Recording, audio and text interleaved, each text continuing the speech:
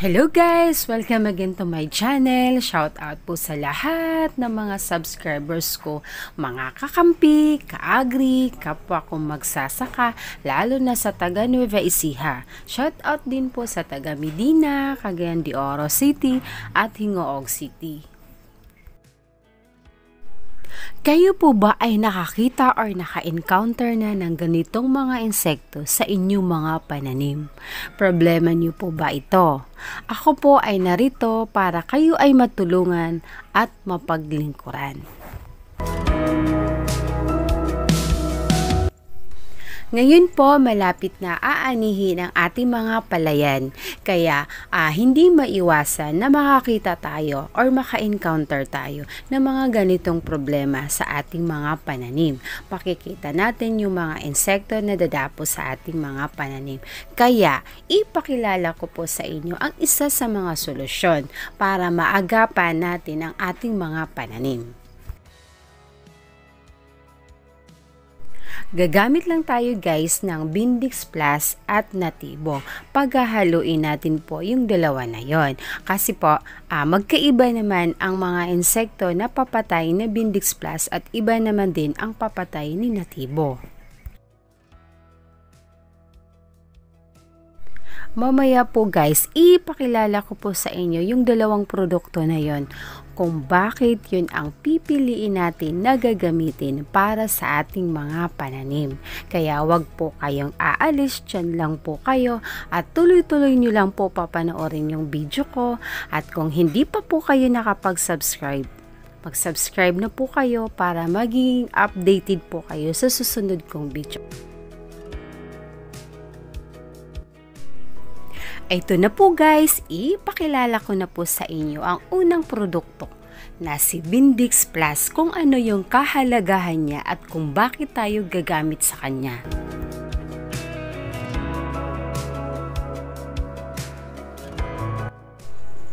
Ang Bindix Plus ay para sa pagkontrol ng lahat ng mga naninipsip at ngumunguyang insekto ng palayan at iba pang mga pananim.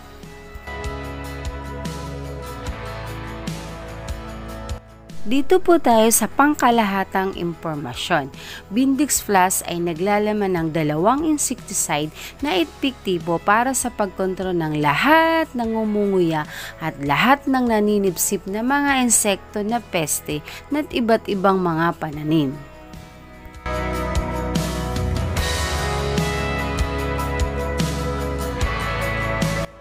Dito po tayo sa direction para sa paggamit. Ihalo lamang ang 24 hanggang 40 ml bawat 16 liters na tubig. Mag-spray kapag lumitaw ang mga insekto at ulitin ang agwat ng 7 hanggang 10 araw tuwing kinakailangan. Inirekomenda ang Bindix Plus upang makontrol ang mga insekto sa mga sumusunod na mga pananim. Sa rice, mga insekto na kaya niyang patayin.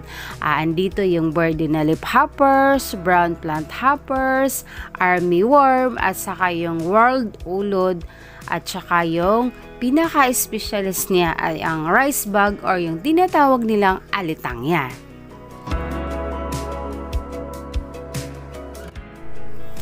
Sa mais naman, mga maninira ng mais ng mais. Uh, earworm, ulod ng punla. Sa sorghum naman, weebworm, sa tabako, budworm, cutworm, at saka sa crucifers, uh, mga gamo-gamo or worm ng repolyo, saka aphids.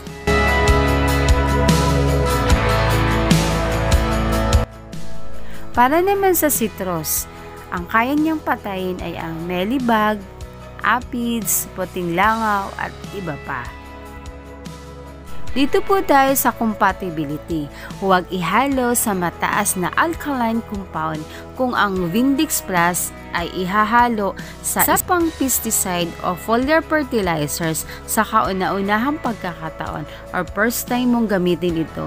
Subukang mag-spray ng isang maliit na bahagi ng bukid bago gamutin ang buong lugar. Dito po tayo sa free interval ng ani. Huwag mag-spray ng pitong araw bago mag-ani ng bigas, sampung araw bago mag-priming sa tabako, at 40 na araw bago anihin ang citrus, mais, crucifers, at sorghum.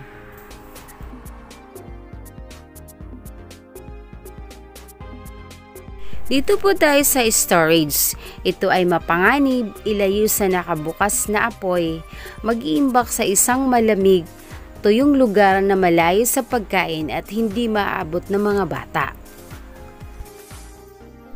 Ano ang Bayer natibo?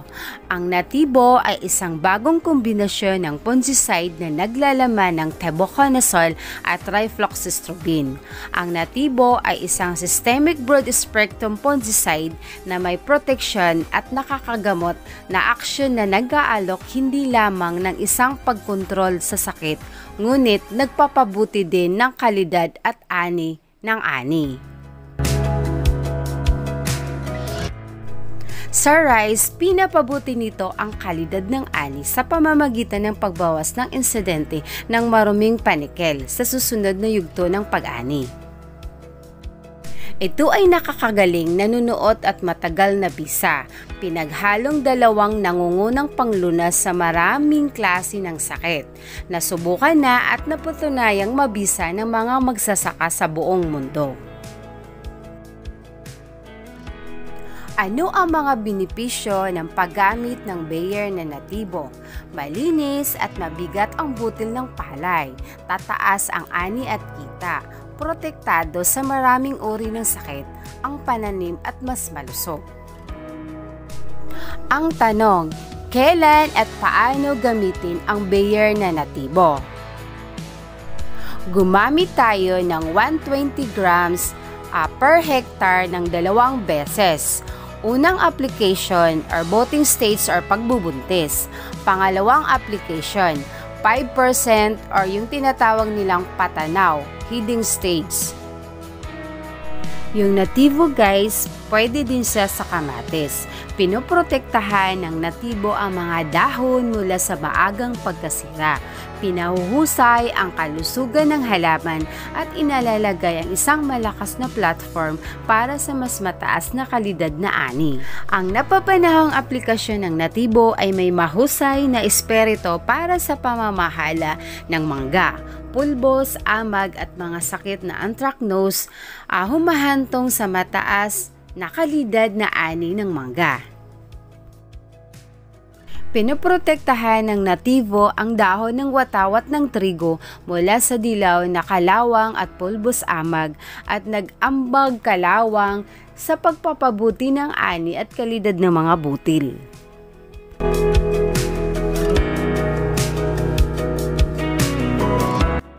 Babala o paalala. Itago sa orihinal na lalagyan malayo sa pagkain, tao o hayop. Iwasang manigarilyo, kumain o uminom habang ginagamit ang produkto. Iwasang malanghap o malagyan ng kemikal ang mata at balat. Magsuot ng damit pananggalang habang ginagamit ang produkto. Hugasang mabuti ang kamay, mukha at lahat ng katawan matapos magbomba. Iwasang maapektuhan ng kimikal at nang malagyan nito ang anumang pinagkukunan ng tubig.